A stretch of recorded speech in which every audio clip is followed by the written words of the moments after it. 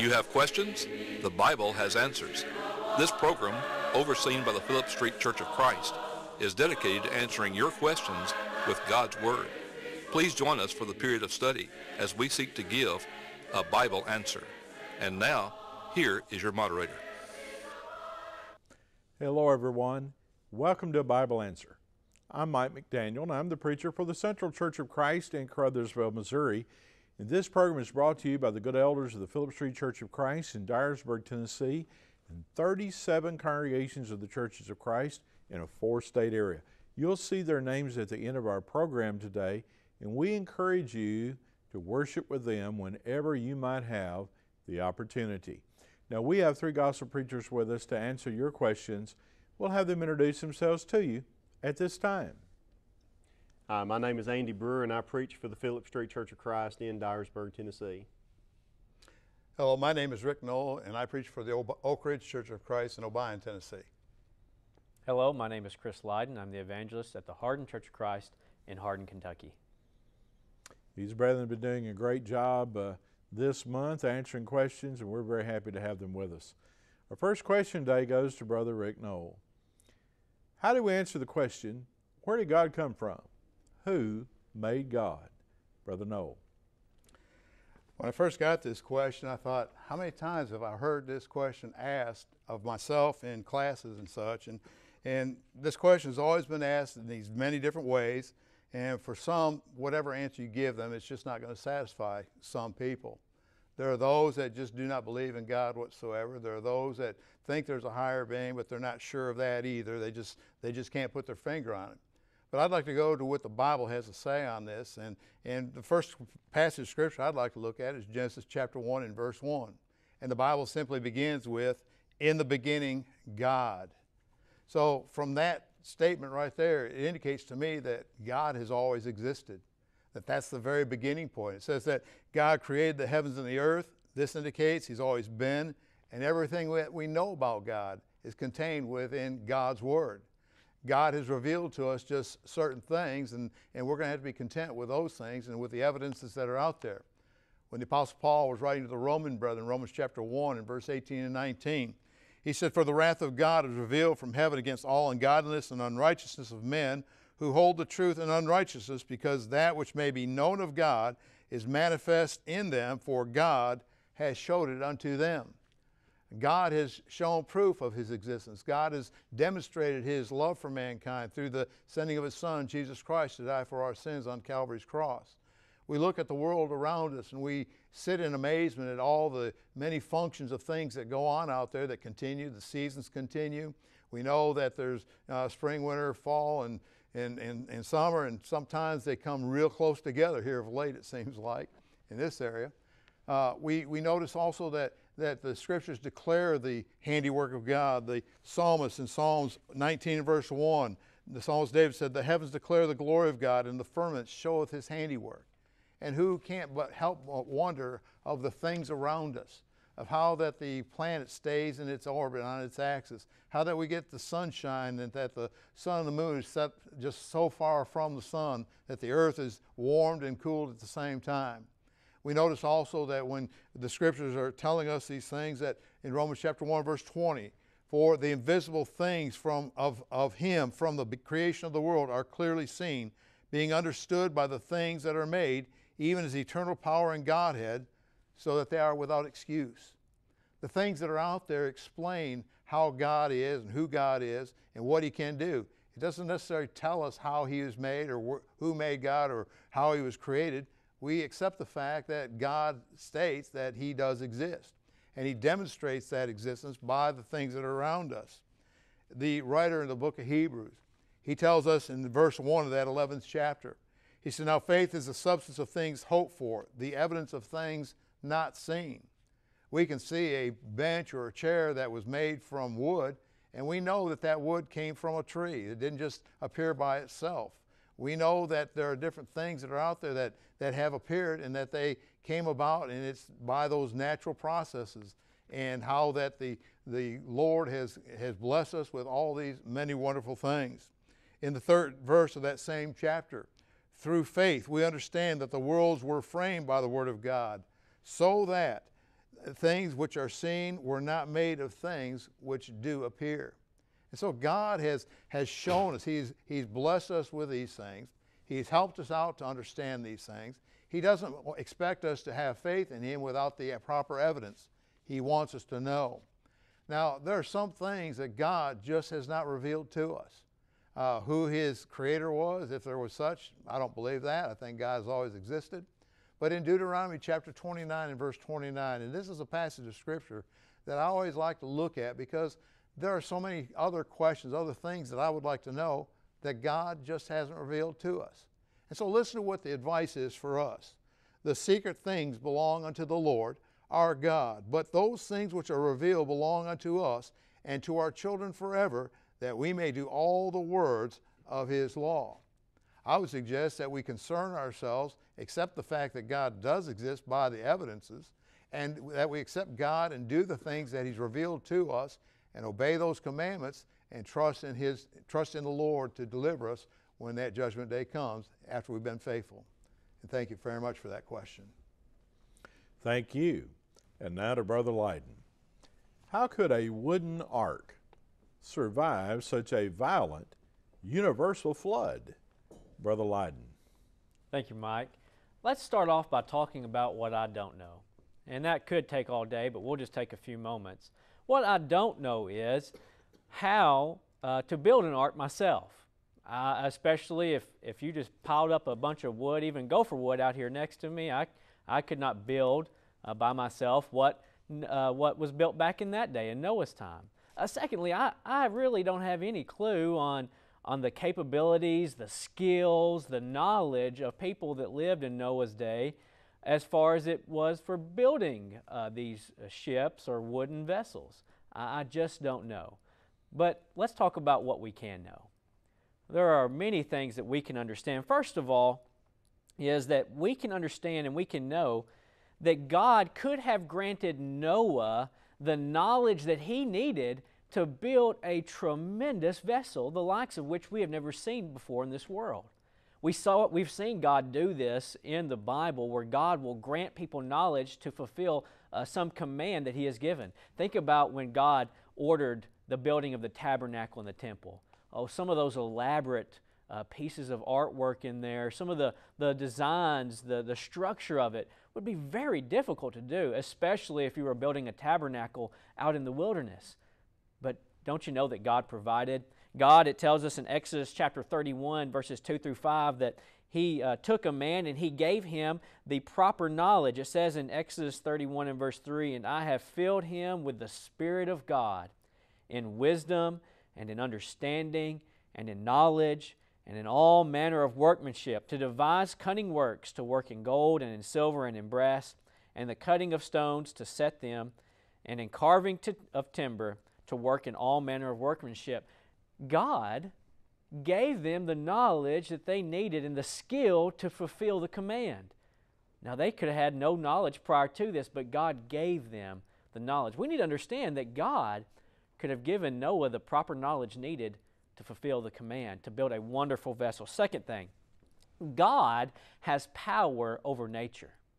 And in particular, water. We've seen that with the flood. We've seen it when God told the Israelites and Moses to cross the Red Sea. He parted the waters. Later on in the book of Joshua, when he told the Israelites to cross over the Jordan River, what happened? Again, God had power over that. He parted the waters and they walked across on dry land. We know that Jesus in his ministry in Mark chapter 4, there was a great storm and he walked on the water out to his disciples. He had power over nature, he had power over water. You see, the thing here is that God, in one instance, can be destroying the world through chaos, but in that same moment, he could have a calm place for Noah and all those on the ark. There could be a storm all around them, but yet they are sitting on calm waters. God has power over that. For example, God preserving the life of Shadrach, Meshach, and Abednego, where? In the midst of a burning and fiery furnace, they were preserved. We can think about Daniel in the lion's den in Daniel chapter 6, how he was preserved. We could think of Jonah in the stomach of a great fish. God, he could have told Noah to just stack up a bunch of bricks, and he would preserve them on those, those bricks. He could have told him to go down to the local Walmart and grab a pool noodle and He would preserve them on that pool noodle. God has power, He has control to do such thing. And that's a wonderful thought. Isn't it a wonderful thought to know that in the midst of a chaotic life, God has the power to bring peace into my life? And that is truly a wonderful thing to think about. Thank you for your question. Thank you very much. We've reached the halfway point of our program today, and we want to offer to you a free tract. Our tract today is entitled Wait Till the Honeymoon. You can have this tract or our eight lesson Bible correspondence course or both by contacting us. You can write us at Phillips Street Church of Christ, 912 Phillips Street, Dyersburg, Tennessee 38024. You can email us at a Bible answer at earthlink.net or you can call our toll free number at 1 800 436 0463. You can also go to our webpage, and we encourage you to do that. We have a contact page there where you can uh, send us your question or send us your request, and that's at www.bibleanswertv.org. Back to our questions today to Brother Brewer. The person says if a man is very poor and owes a large debt, does that excuse him from giving to the church? Brother Brewer. Well, every indication in the New Testament of what, with regard to what God requires uh, in our giving, can basically be summed up in two things. Number one, He requires that we do give. And number two, that, that what we give is simply proportionate to what we have. Okay? Now, don't just take my word for that. Let's read a few verses that, that tell us those two facts. Number one, that God wants us to give, and number two, that our giving simply be proportionate to what we have. First of all, 1 Corinthians chapter 16, verses 1 and 2, Paul said, Now concerning the collection of the saints, as I gave order to the churches of Galatia, so do ye also. Upon the first day of the week, let each one of you lay by him in store as he may prosper, that no collections be made when I come. He just simply said what they gave just simply needed to be proportionate to what they had. He didn't require a certain amount, it was just simply as they prospered. Secondly, in 2 Corinthians 8, beginning in verse 1, Paul wrote, Moreover, brethren, we make known to you the grace of God which, he hath, with, which hath been given in the churches of Macedonia, how that in much proof of affliction, the abundance of their joy and their deep poverty, now underline that in your mind, they're not giving out of abundance other, other than their abundance of joy. He said they're giving out of their deep poverty, but how that abounded unto the riches of their liberality. And so, even though they were deep in poverty, he said they still gave liberally. For, according to their power, I bear witness, yea, and even beyond their power, they gave of their own accord. There is a lot of good in, information in those three verses that I wish we had time to, to give more attention to. But notice they gave out of their poverty, yet they gave liberally. They gave of their own accord.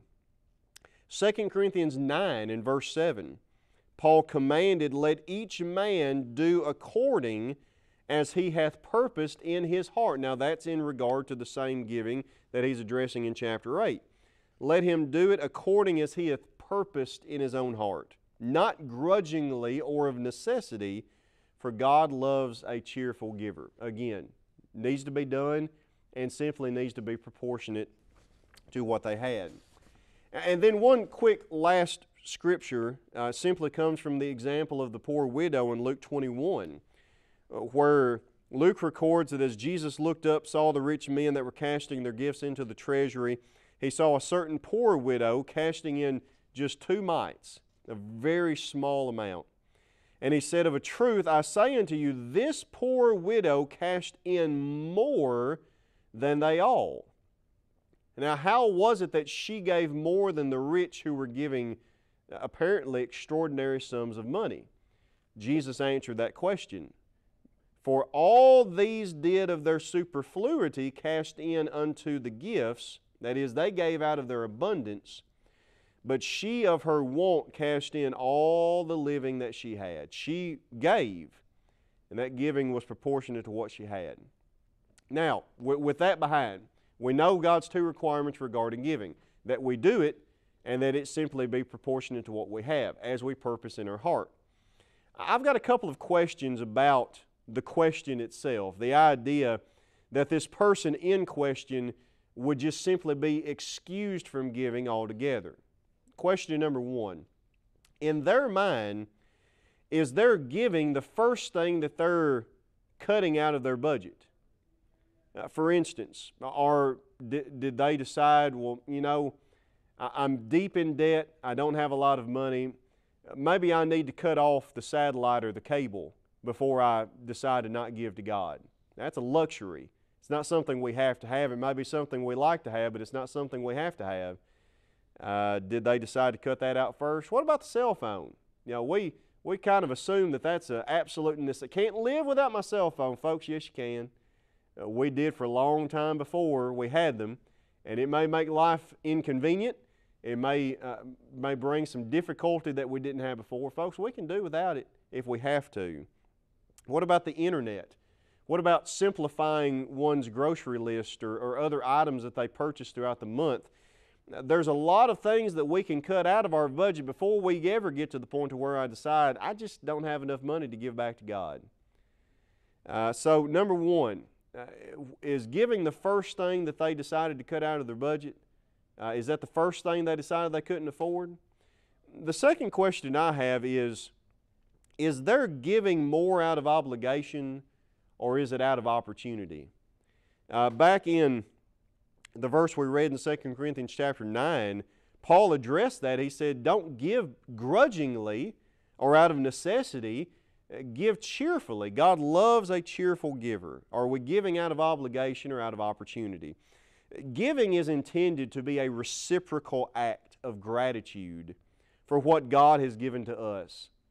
And so, by giving nothing back to God, what are we saying about what we think God has given to us?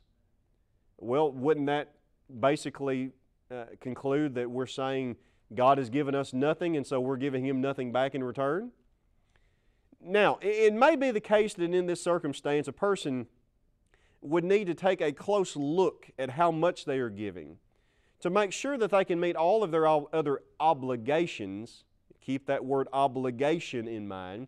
We've got to meet our obligations, absolutely. We've got to have money to pay, pay our uh, necessary bills. We've got to have uh, money to, to live, to, to, to supply the necessities of life. Um, and it may be the case that until that debt is paid, now we need to lower the amount that we give to make sure that that everything is being taken care of. But to say that the man would be excused from giving altogether is a far leap, and I don't believe is a conclusion to which we should be able to scripturally come. Giving is a part of our worship to God. And by the way, there's a sacrificial component to the way that we're supposed to give anyway. We're supposed to give sacrificially. Uh, and so it seems to me that in, in a circumstance like this, and this may sound cliche, but I don't intend it to be, a person in this circumstance simply has the ability to trust God more at this moment in their lives than at any other time. Uh, and so there, there may need to be some thought to how much they give, but cutting giving out altogether, I think if that's the first uh, conclusion to which they come or the first thing to which they leap, uh, that might say a little bit about their heart uh, and about their relationship with God. So uh, thank you for that good question, and I hope that helps in some way. Thank you. Brother Knoll, the person says, My child is rebellious and refuses to obey me. She is in high school and is threatening to move out. What can I do? Brother Knoll.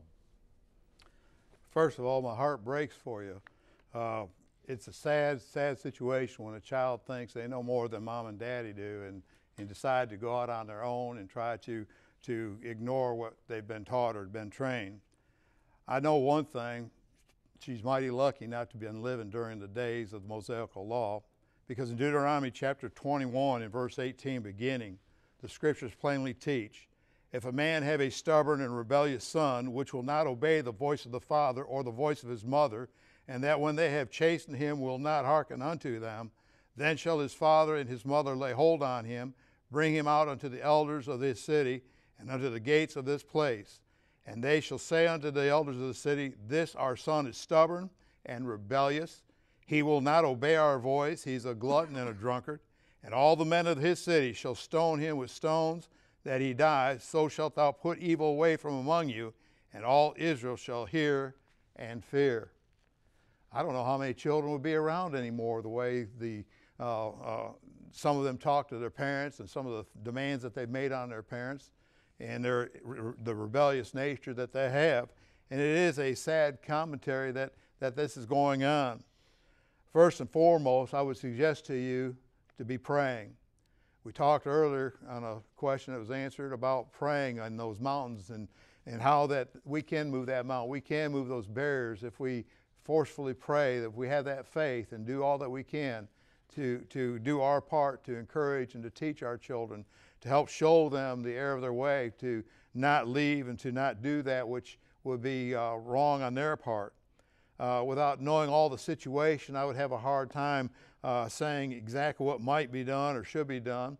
It could very well be that you may need to find somebody that could act as an intermediary or mediator between you and your daughter, uh, maybe between you and your husband and your daughter, so that those things that could be said or done or to be instructing them would help them to come to an understanding of what's needed. Maybe all three of you have something that you need to be taken care of, that there's issues going on that way, uh, that demands that are being made are not reasonable. Uh, too many parents sometimes, they want to just be pals with their children, and they've forgotten that they have certain roles and responsibilities. Mamas and daddies are to be mamas and daddies. Children are to be to be children, show respect and honor to their parents.